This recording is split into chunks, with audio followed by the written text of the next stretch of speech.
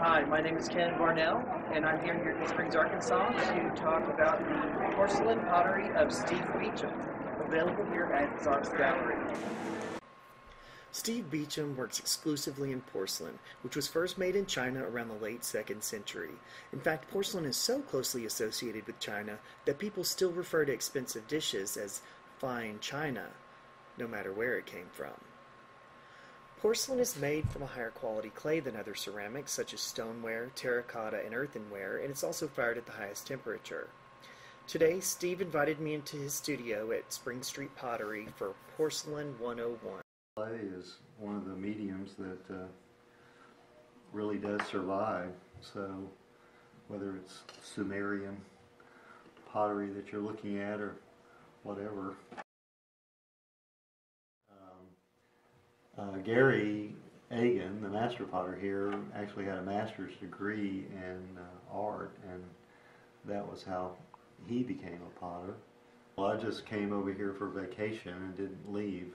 But when I started as a potter, I was actually, I basically did the apprentice thing, and I wedged clay for Gary and sat and watched him work, and uh, uh wedging is probably the least fun. Just getting the clay, just the grunt work of preparing the the clay for throwing.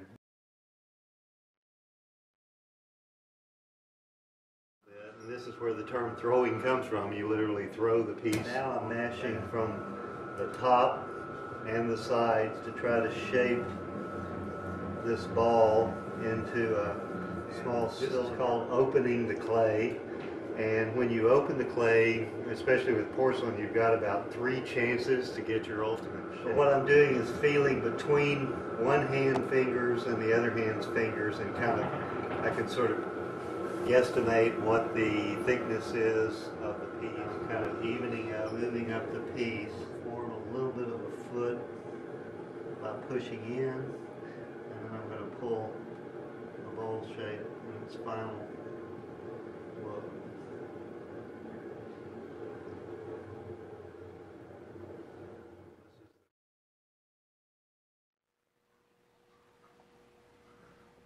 And on a lot of this decoration, I'll have some idea of what I want it to look like, but a lot of, I mean, everything that I do here is one of a kind. So you twist the trunk, kind of a weathered look to it.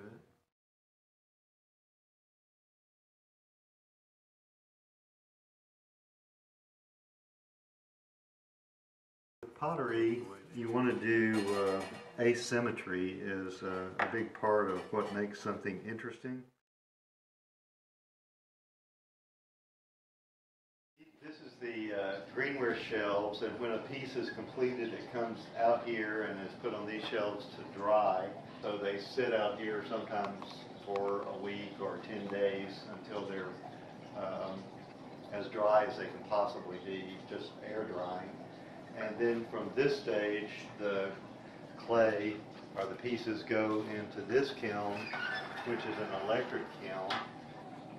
And the bisque firing is uh, hard, it makes the pieces hard enough that they can be dipped into the liquid glazes. Probably the most popular glaze I do is called rutile.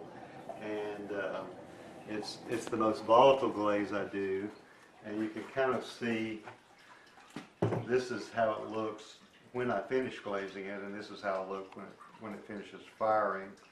Uh, it's called a reduction uh, kiln.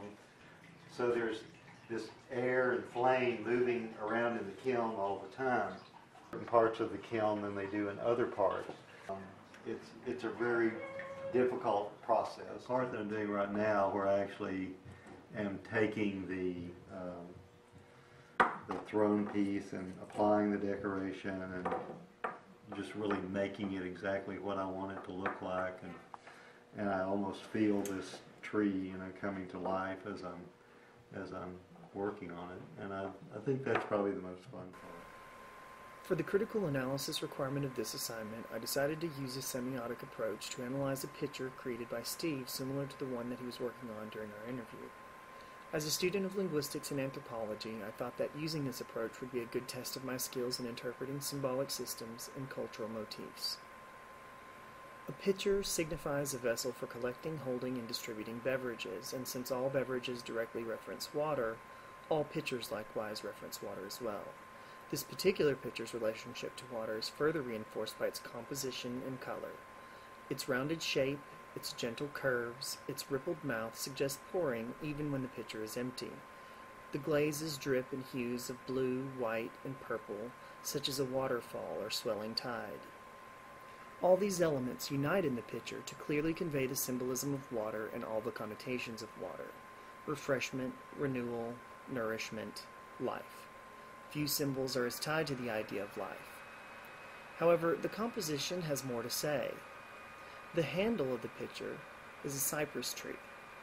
For thousands of years in the West, we've associated cypress trees with funerals, graveyards, the underworld, and death. This historical association is further accentuated by the gnarled, twisted shape of the tree itself. The top of the tree has even been broken off. It's weathered and battered, and look what it clings to the voluptuous blue symbol of life. You'll notice also that the tree is gilded. Now, what does the gold mean in this context? Gold signifies material wealth, but as you can see, wealth has not kept this tree from becoming broken and decrepit. Do you see how the only leaves on the tree are the ones in direct contact with the pitcher? This piece is a proverb, and it can be translated All the gold in the world cannot buy you eternal life. Steve's compositions tend to be simple and elegant, with a conscious asymmetrical balance, though he often adds whimsical touches like frogs, dragons, and gilded weather-beaten cedar trees in the style of his mentor Gary Agan. For me, however, color is the real star of the show, and it's the reason I'm such a big fan. For much the same reason that I like the Impressionists and the Expressionists. The way he mixes different colored glazes reminds me of the way in which the Impressionists mix colors. Uh, the patterns on his work also remind me of the Expressionists as well. Thanks again to Steve Beacham for all he taught me today.